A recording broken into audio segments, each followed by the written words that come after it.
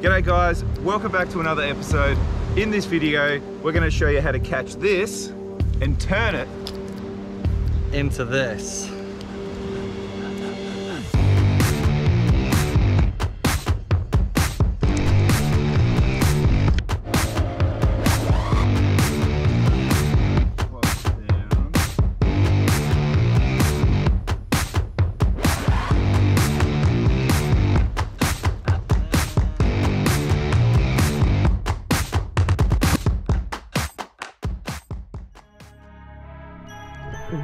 Okay guys, so the spot where we dove to catch our bait, it's actually quite a challenging spot. It's a really tight passage and has like four or five knots of current uh, at the time where we were diving at, which not only makes it challenging from the current, but from a visibility point of view as well.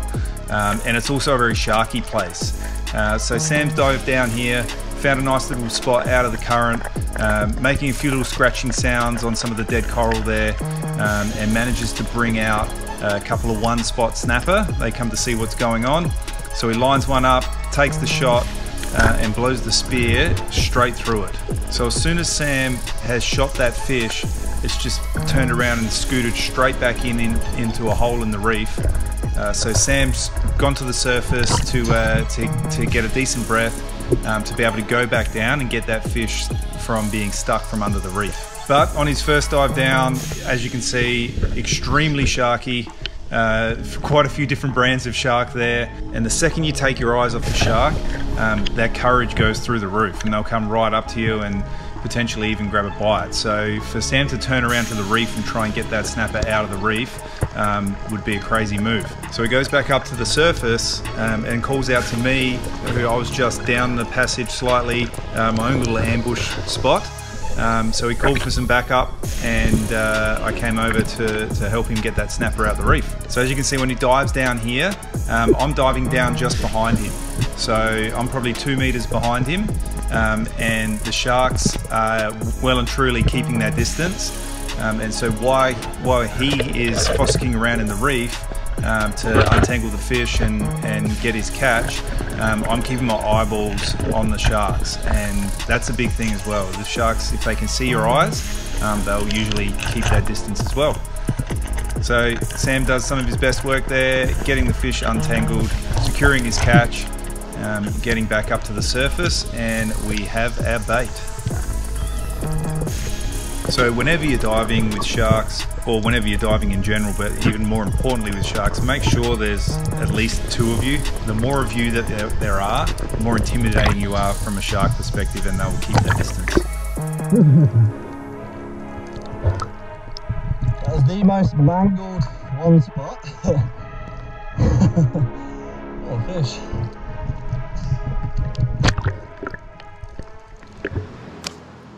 Okay, so now that Sam has shown us how to hunt down and shoot the one spot and fight off the sharks, I'm gonna show you how we do turn this into that mud crab.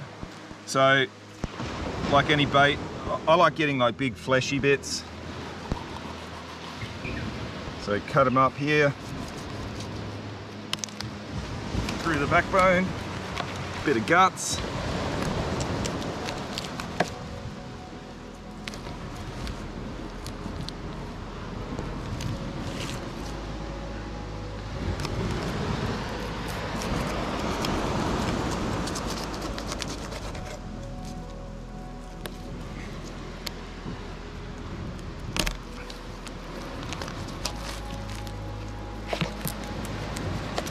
All right, nice big solid fleshy piece with some guts and if you guys could smell this, you'd be gagging. Chuck it in the little bait bag.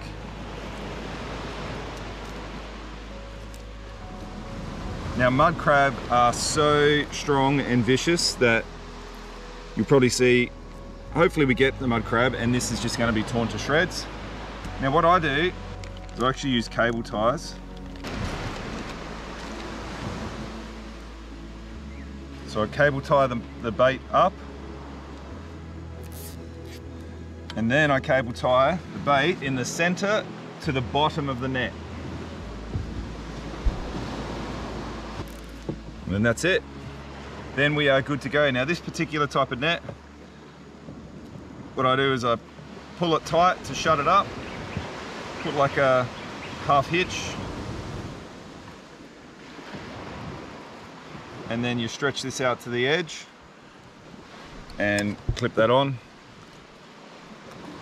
And that's it. No muddies climb in here. So you usually only get one mud crab in each pot like this, especially if they're male, because they'll get in there and they'll be having a feed. And if, if it's a big one, the others aren't going to come in there. Um, but yeah, let's go drop this in and try our luck.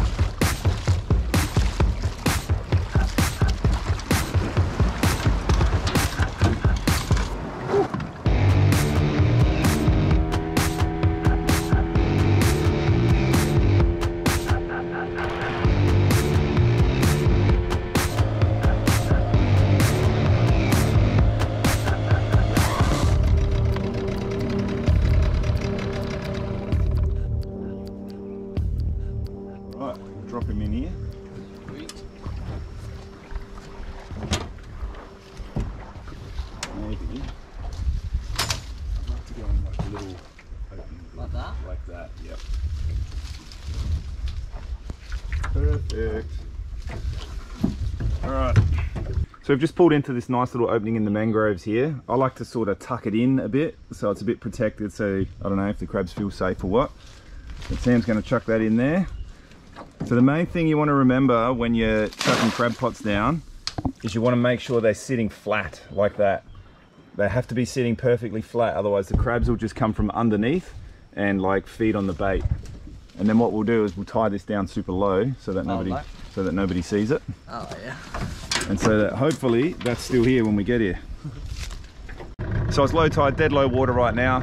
We'll let like a tide cycle go. So um, once it's high tide, we'll come back in. And hopefully as that tide starts running and pushing back salt water back up into this system, the crabs start to crawl.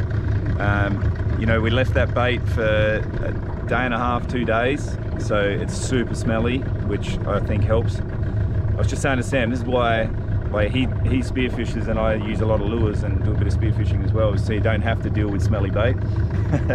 but uh, it's going to be worth it once we get this nice big muddy.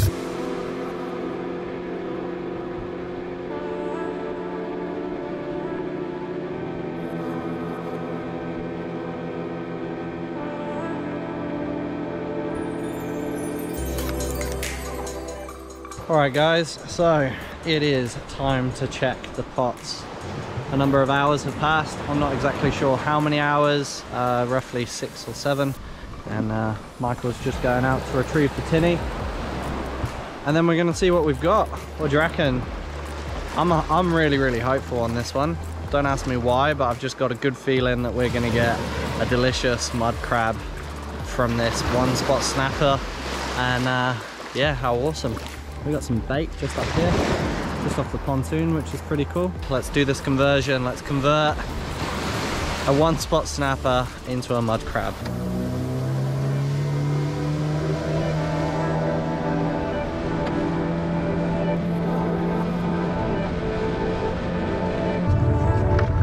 All right, Michael, what do you think? Are I we am, on? I am reasonably confident we're going to have a muddy in here. I would say I'm a 85% chance for a mud crab. I like the odds. I like the odds. They're pretty good odds. You take them. Yeah, we'll definitely take 85%. What I'm going to do is kill that Yep. and you can do the honours. So if there's no crab in there, it's probably your fault. Yeah, it's on me.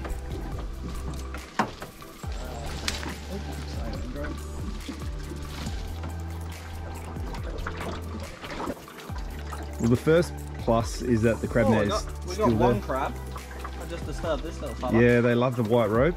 Oh, really? Yeah. Yeah, every, every time I tie them up, they're always on the white rope. There we go. Well, that counts. We already got one. Oh, moment of truth.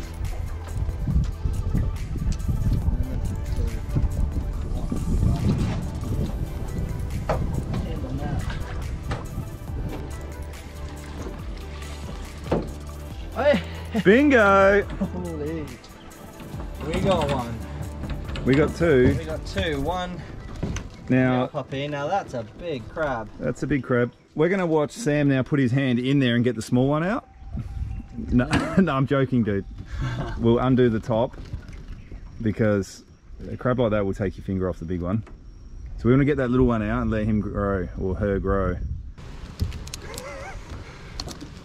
Hey. Got the other little crab out. It's actually a male, so I'm willing to bet that crab got in the pot first. Because if that big sucker was in there, I wouldn't think this guy would even come and have a sniff. He's a brave, brave boy, and he's gonna go back and Make lots of babies grow. and grow big. Yeah, enjoy. Cool. All right, let's get the boss home Yeah. and give these guys a better look at it. Corner, We have the wet mammal representing all of humanity. and in the green corner, we've got old mate who's got a fair set of guns on him. All right, keep it clean, boys. Alright, touch gloves. Let's go. Alright, how not to catch a mud crab. Ready? Oh, this is. You're giving it easy, bud. That was a walk in the park. Yeah, it was almost. Almost. Have a look at those. Wow. Oof. Definitely do not want to get chomped by that. So, Solid crab, that's your first ever muddy caught. yeah, yeah, yeah. And what a way to do it. Converting a one spot into a muddy. Bloody It's- awesome. So surreal. This thing's like a dinosaur. Look at those claws. Sick. So yeah, super excited to cook this guy up and yeah, turn into an excellent feast. What a crab. What a crab. Humanity one, crab zero. Sick. Alright, so we've got our mud crab and we need to make a fire because we're going to cook him on a fire in seawater and it's going to taste delicious.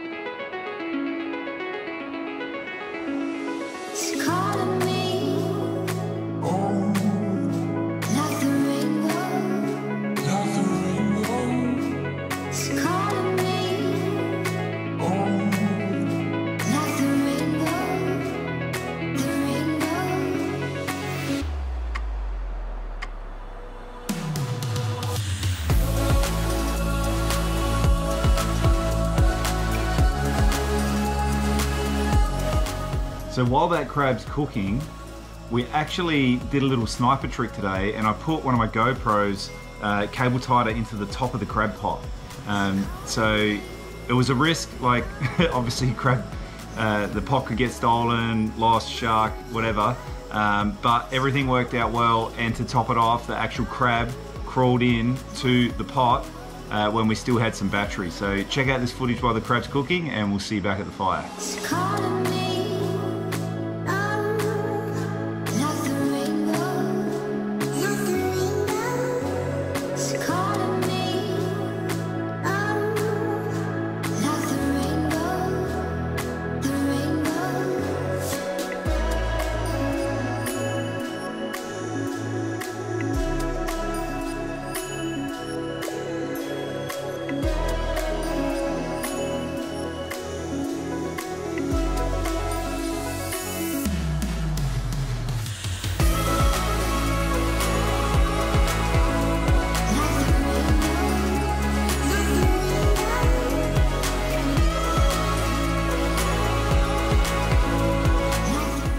Alright guys, so we're all cooked up.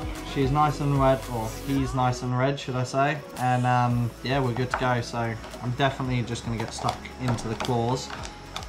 Just crack that puppy off. And we go again. Oh. Get your old pliers.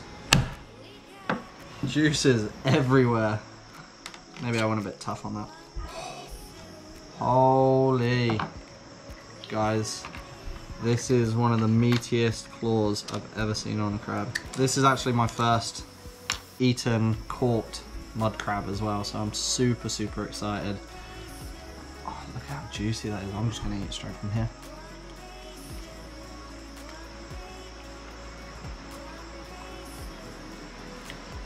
That is unreal.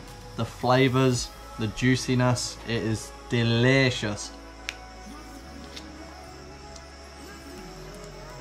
I wish I could share some of this with you guys, but um, yeah, what a feast. We're gonna actually share this into a pasta and eat it. What a cracking day, me and Michael went out and smashed the one spot snapper. We then converted it into the mud crab today with Michael's secret spot. And uh, yeah, what a crab, what a feast. It came out absolutely beautiful. For you guys that haven't seen exactly how we cook the crab, um, if you click on to the link up in the top corner of this video, that's going to take you through to one of my other videos where I take you through the whole process from start to finish of exactly how we do cook the crab. Um, but it's just been awesome fun actually making this video to go from beginning of hunting that one spot down, uh, you know, converting that into a crab, uh, cooking the crab, and then you know enjoying it here with with Sam and Denver. So uh, I hope you enjoyed the video, guys, and I'll see you on the next one.